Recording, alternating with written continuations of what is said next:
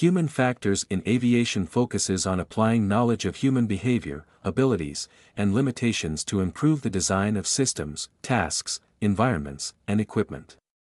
The aim is to enhance safety, performance, and efficiency by minimizing errors and optimizing human-system interaction. Since human error is responsible for 75% of aviation accidents, understanding the root causes of these errors is crucial.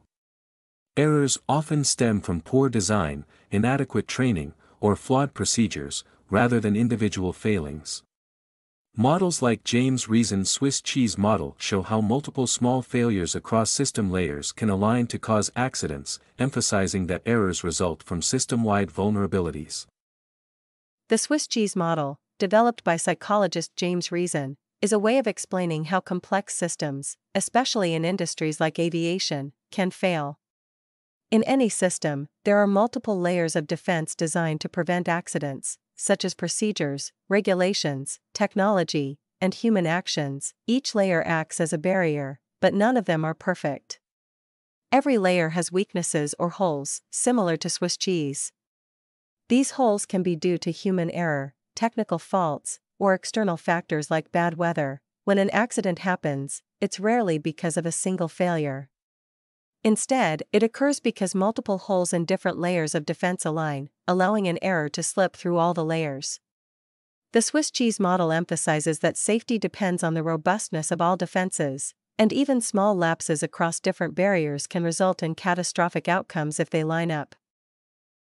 The tragic Mangalore air crash on May 22, 2010, illustrates the Swiss cheese model in real life.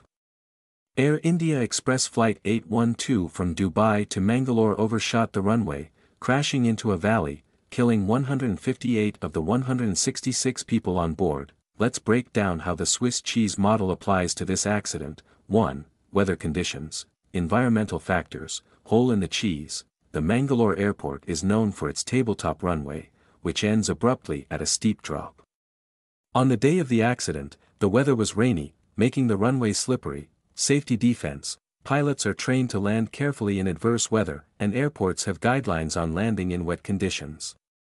However, the difficult terrain combined with the rain created a hole in this layer. The captain had just completed a long series of flights, and though he was an experienced pilot, fatigue had set in. Fatigue is a subtle but dangerous risk in aviation, as it impairs judgment and decision making. As the plane approached the runway, it was too high and too fast for a safe landing.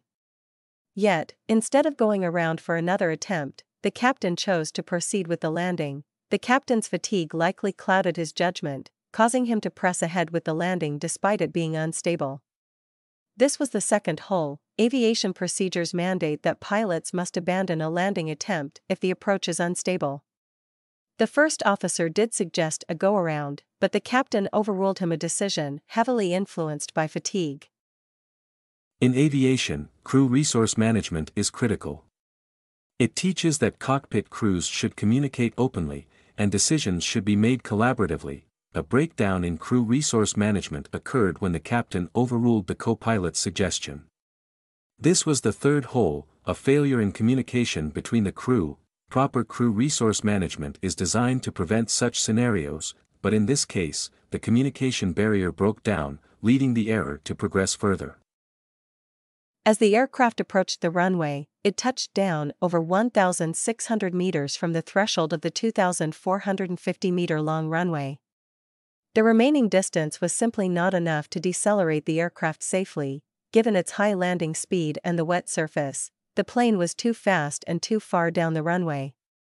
This error in judgment, combined with the tabletop runway and weather, meant that the margin for stopping the aircraft was non existent.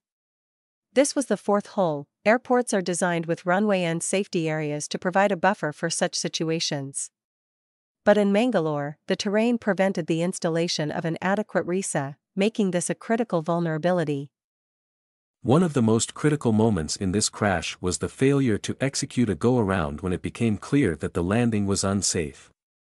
A go-around is a standard procedure when the approach is unstable, and it would have given the crew another chance to safely land the aircraft. Despite the plane landing too far down the runway, the captain did not abort the landing. This was the fifth hole, and it aligned perfectly with the others, sealing the fate of the aircraft. The go-around procedure is a last-ditch defense to prevent accidents like this. But human factors, like fatigue and decision-making pressure, overrode this safety measure. James Reason's model provides a framework for understanding how multiple small failures in different areas of a system can align and cause accidents. Each layer of defense in an aviation system is like a slice of Swiss cheese. The holes in each slice represent vulnerabilities or failures, whether due to human error, poor design, or unforeseen conditions. When these holes align across multiple layers, an accident occurs. Importantly, Reason's model teaches us that human error is not a single point of failure, but rather part of a chain of interacting failures within the broader system.